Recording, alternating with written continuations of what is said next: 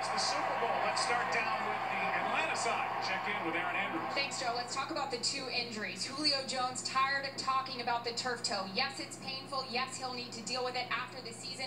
It won't be a factor today. Center Alex Mack encouraged with the way his left fibula felt during pregame warmups. He told me he's hoping adrenaline will take over during this game. Finally, speaking of nerves, Matt Ryan saying he's thankful the NFL told him last week he was named MVP of the season. He said it got something off of his plate.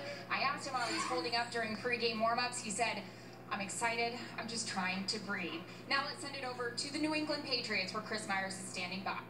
Well, Erin, this is the healthiest team that Bill Belichick has ever brought to the Super Bowl. And as you know, this is his seventh trip. And his quarterback, 39 year old Tom Brady, told us this week he's in the best football shape of his entire life. Brady didn't want to talk about that uh, possible record fifth Super Bowl ring for him, but he said if it happens, it'll be pretty incredible.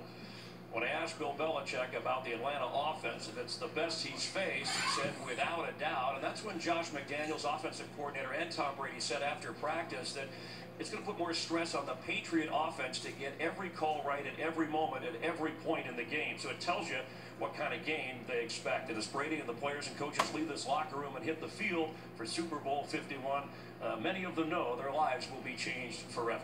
That's the story down here. Let's head back upstairs to Joe Buck. All right, Chris and Erin, thank you very much. Well, the nerves bouncing around for everybody. Broadcasters, players, coaches, whatever.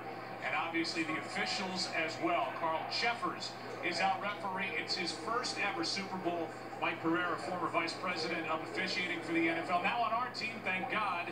Are we in good hands with Carl Cheffers tonight? We're in experienced hands, that's for sure. 93 total games between the seven, uh, seven of them. You got 64 playoff games, and five of them worked together in Kansas City two weeks ago. Well, sometimes people say, okay, it's the Super Bowl, so just let them play, let it go. Do you believe in that? They can't. They, are going to be challenged. Troy referenced it. What is Bill Belichick going to do? They've got to get the Atlanta receivers off the line, and they got to watch for picks on both teams. If they're more than a yard downfield, they've got to be called.